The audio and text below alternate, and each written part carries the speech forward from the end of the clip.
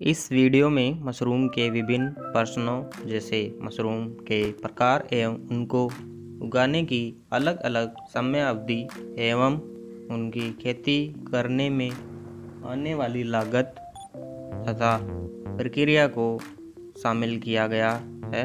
भारतीय बाज़ार के हिसाब से एवं यहाँ के वातावरण की अनुकूल दशा के हिसाब से तीन मुख्य मशरूम प्रजातियों को उगाना किसान को मुनाफा दे सकता है।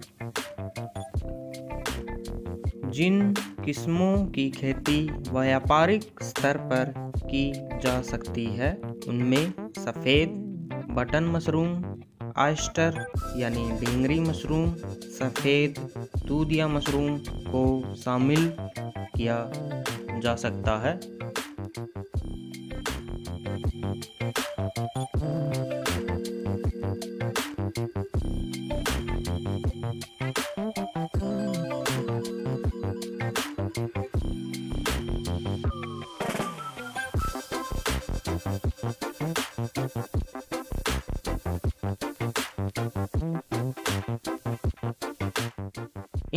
सभी किस्मों को वर्ष भर अलग अलग समय अवधि में उगाया जा सकता है। कम जगह अथवा कम समय के साथ ही इसकी खेती में लागत भी बहुत कम लगती है, जबकि मुनाफा लागत से कई गुना ज़्यादा मिल जाता है। मशरूम की खेती के लिए किसान किसी भी कृषि विज्ञान केंद्र या फिर कृषि विश्वविद्यालय में प्रशिक्षण ले सकता है। सभी प्रकार की मशरूम को किसी कच्चे या पक्के कमरे अथवा अस्थायी झोंपड़ी या छप्पर बनाकर इसके अंदर उगाई जा सकती है, क्योंकि मशरूम को धूप की आवश्यकता नहीं होती।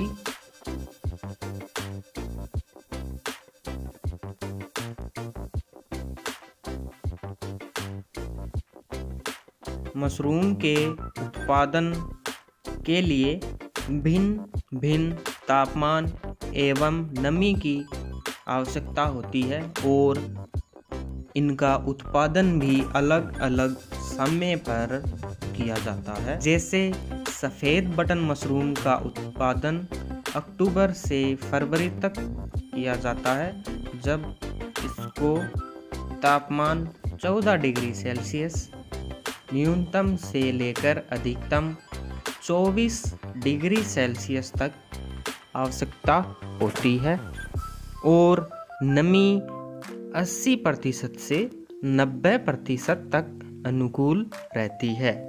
दूसरी तरफ़ ढींगरी यानी आयस्टर मशरूम की समय अवधि फरवरी से अप्रैल तक होती है, जब तापमान 30 डिग्री सेल्सियस से 22 डिग्री सेल्सियस तक रहता है।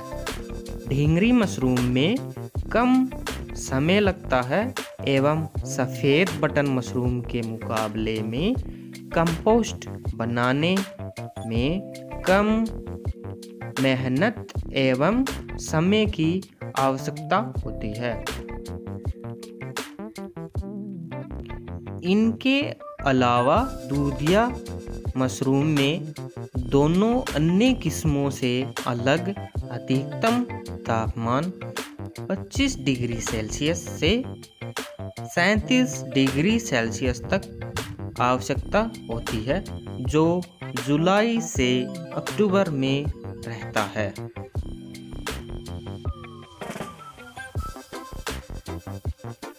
इस प्रकार वर्ष भर इन तीनों किस्मों का क्रम चलता रहता है, जो सफ़ेद बटन मशरूम को अक्टूबर में लगाने से अंत में दूधिया मशरूम को अक्टूबर तक उगाए जाने तक संपन्न होता है।